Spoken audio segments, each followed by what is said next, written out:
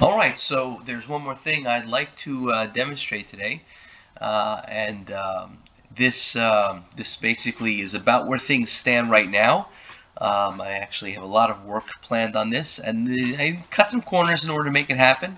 But uh, I want to talk about basically the Clog Builder. The Clog Builder uh, is an application um, that basically, ultimately speaking, is going to give an environment that's going to be somewhat Delphi-like and allow you to compose your applications and GUIs, right, using the same sort of things you would use in the days of, GUI, of, of Delphi or VB and things like that.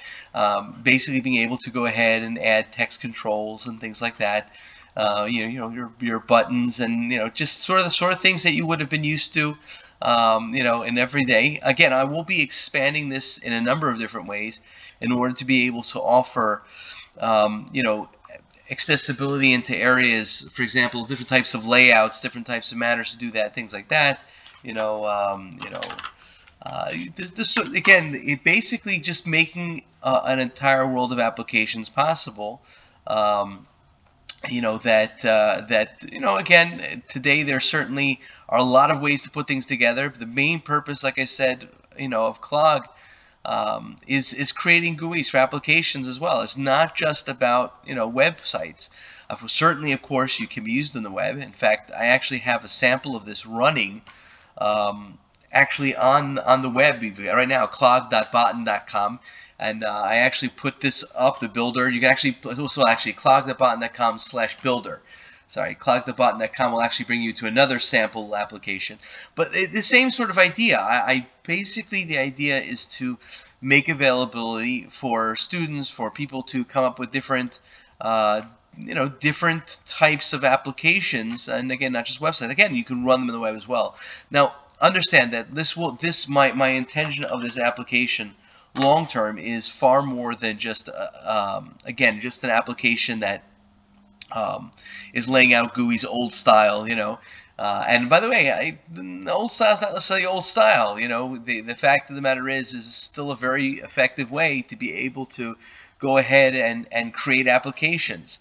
Um, again, you know, here basically I've rendered the, the little GUI that we're just playing with uh, the whole time, and uh, you know, uh, went ahead and you know created a little, you know, uh, all the, the, the code behind it. Actually, uh, let's go ahead for a moment. Uh, let's say, just want to show you also, you can of course rename your controls, you know, OK button, you know, you know, and so forth. Um, you know, text, you know, uh, my my input.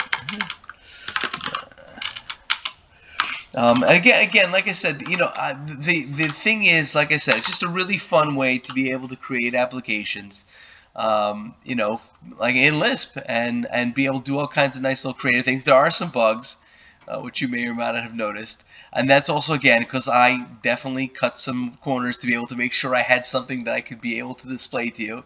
Again, there's our import, there's our OK button, and so forth. And I can go in there and I can, you know, I can add necessary code if I'd like to be able to, you know, modify the user, add events, etc. And or just cut and paste this into another application and go. Um, and uh, the point is, is this is just a really, really fun way to be able to to use Lisp. Again, if you're trying to teach people to use Lisp, you know here you've got this this great way to be able to give people access to tools that have instant results. Uh, you know, making programming fun again. Uh, you know, uh, again, web does that a lot, but the problem is, is that you don't necessarily have that instant response, and it's just another way of doing things. Now, I, I do have a lot of plans actually for the builder beyond this. Um, uh, I have uh, I have a lot of ideas of things I'd like to be able to make possible, uh, which essentially is, for example, creating applications uh, without actually touching any code, all using Lisp behind it. Uh, using artificial intelligence to be able to make certain determinations based on your specific designs, your application, things like that. Again, you know, there there was um, there were a number of different tools that existed uh, 20 years ago, which I find funny that they, they, they somehow have got blown to the way, you know, in the place of various other mass tools. Uh, Um, one of which, uh, we, you know, for example, you know, connecting these things, you know, automatically database entries for various different uh, inputs, uh, then to be able to, to, to, you know, to then go ahead and connect those to reports. these are all IT type applications, but these are things that people make day in, day out. I, I know that people use Access and they use some other types of IT stuff, but hey, now they'll have an option. They can do things over the web. They can do them remotely, and they can all be done really with amazing speed. Again, I, I'm not saying it's for everybody. You know, there there are some really great tools for Lispaweti. I mean, Clim, I, have seen a number of times, looks amazing, and a couple other things. But this is an entire other way of using the web and uh, using your browser. Your browser basically just rendering your, your GUIs. And like I said, again, just sit back. You'll see in time. Uh, hopefully, I'll get to them. Hopefully, other people will be interested in adding on these sorts of things um, you know, custom controls. I only I only bound a couple of them here for my control list, but you know, eventually, like you said, this, it'll all get there. I mean, uh, you know, uh, I think last year was an amazing year. A lot of great stuff came out from it. This coming year, you know, 2022, I, call the year of the builder, and we're gonna have all kinds of amazing things. Uh, I think that are gonna revolve around this, um, and that's sort of my plan. I, I really think that visual tools can get us further um, you know, just in general, you know, to be able to create all kinds of really awesome applications. And then again, behind all this, of course, you've got the Power Lisp. And uh, like I said, I just think it's a, it's a really cool tool. It puts us, I say us, uh, again, I'm new to Lisp also in, in many ways, but uh, I will tell you, I think I, I think it puts Lisp basically in a, in a very interesting position uh, for the coming year to be able to enter certain spaces of, of uh, applications that uh, maybe people never would have thought of using Lisp for.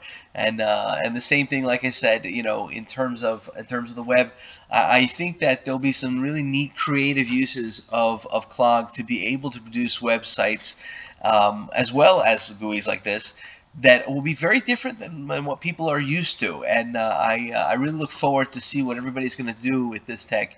Um, I certainly have, uh, like I said, my own ideas, and um, really, it's uh, it's been a pleasure creating. Uh, you know, again, um, I'm really, uh, really very happy with with everything uh, I, have experienced in terms of the, you know, the the entire community here, and um, I'm really looking forward to, to, this coming year. And I thank you for uh, allowing me to present the stuff I've been working on, and I really hope you will all get a chance to really enjoy uh, and make something of it all. thank you so much.